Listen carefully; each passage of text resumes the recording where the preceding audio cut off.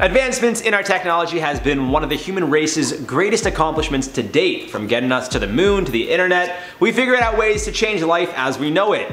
Yet still, as we know, technology isn't perfect, and more often than not, it seems that we're getting frustrated dealing with autocorrect or algorithms that we don't necessarily agree with, showing us things that we don't want to see. Of course, sometimes technology makes mistakes that, although it may slightly affect others, in the bigger picture, it's just straight up funny.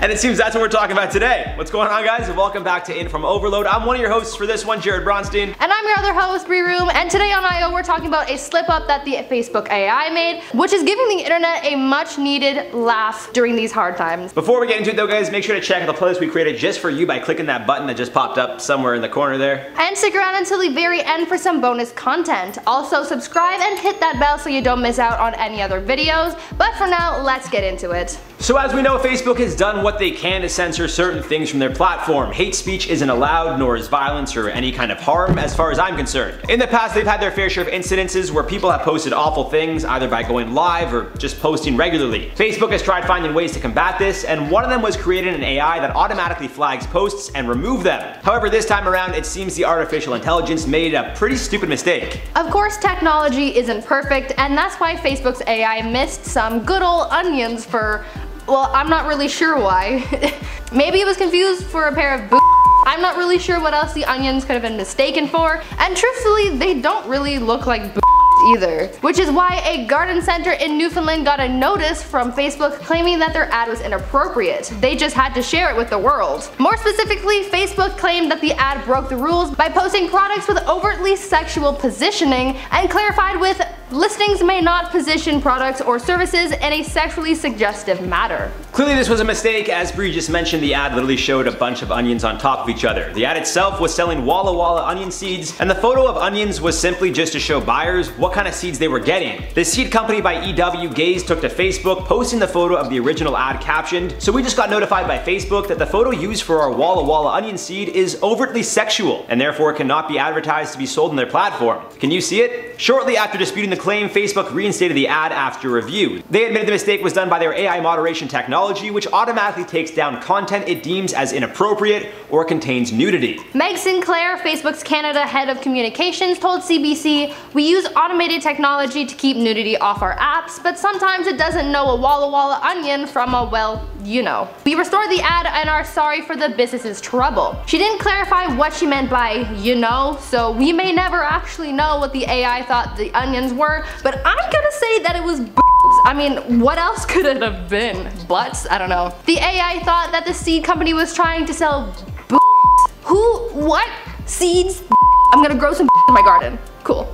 Yeah, I don't really see, I, don't, I, I, honestly, I was watching, I was looking at it, I was like, I don't see what they could have mistaken the onion for. I looked at the ad over and over again. Yeah, I mean. I just see onions. They're onions.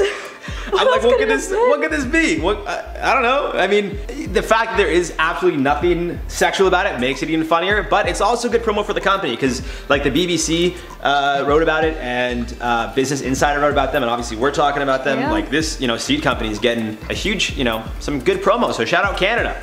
the store's manager, Jackson McLean claimed, I quote, we've sold more in the last three days than in the last five years. And he found humor in the situation, even putting the seeds under the sexy onions category on the company website. Oh so. my god. Yeah, McLean didn't even realize what could have been considered sexually suggestive until he noticed that maybe the round shapes could resemble either a pair of or a butt. Still, he got a good laugh from it and an increase in business as well as a ton of media coverage, so it seemed like this worked out in the end. Yeah, I mean, at the end of the day, like, they say any publicity is good publicity. Yeah. I mean, I don't know if I necessarily, yeah, I think that's somewhat, yeah, I don't know. Yeah. Depends on the situation, but I think in this case, yeah. I mean, it's good. I, I just really hope that no one's like, oh, false advertising. I planted these expecting boobs and they're onions. I was expecting just a couple perfect looking tushies. I just want my tushies growing in my garden. I don't know. I'm sure people will probably buy the seeds expecting that to happen, which yeah, is you never know. wrong in itself. But for now, we're gonna reply to some comments from the video. Chris Pratt backlash over this joke. I'm so bored said the people offended by this need to seriously grow up. Yeah, he, he literally made a joke about voting, like saying, you gotta vote, it's so important. Every celebrity's doing it. Make sure to vote for this. I think it was the movie he's in for like the MTV Awards or something like that. Yeah, yeah. And people got mad and it's like, just relax. like the, there's more serious problems happening in the world. You shouldn't get mad at him for that. Sorry. Honestly, guys, just Calm down, wear a mask, you'll be fine. It's Aubrey Nighthorse says, I'm an American and I thought it was funny. me too. I'm, I'm like my dad's from Philadelphia. You were born in the U.S., weren't you? Yes, I was. I'm from Florida, unfortunately. So, oh, I'm sorry. No, I'm joking, I'm joking. But yeah, it's, look, I mean, again, we don't necessarily live in the States, so maybe we don't, you know, deal with the policies firsthand. But we're pretty close. We're in Canada. We're like the we're like the younger brother that, you know, just has to deal with all the repercussions too. So Yeah, we're, we're watching from afar. yeah, so good luck. Tiffany Murray said Chris Pratt is the worst Chris in Hollywood. It's been established by all the other Chris's. Says who? You? I, I thought he was wholesome. I- What happened? I liked him. What other Chris's are there? There's Chris Hemsworth and who else? Chris Pine. Chris Evans? I like Chris Pratt. He's funny.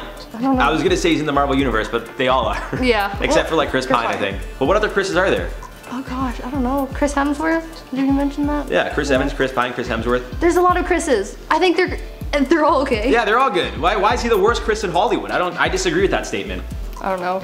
We're gonna research this later and be like, actually, I have to take I- that back. He's a horrible person. I think we gotta do. I think we gotta do a, a video of like the worst Chris in Hollywood, and we'll just break down every Chris. Top 10 worst Chris's in Hollywood.